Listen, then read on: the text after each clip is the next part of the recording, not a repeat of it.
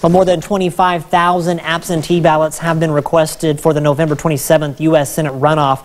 The statewide numbers are a sign of high interest in the race. More than 100 have been requested in Monroe County. There are also some judgeship races on the ballot next Tuesday.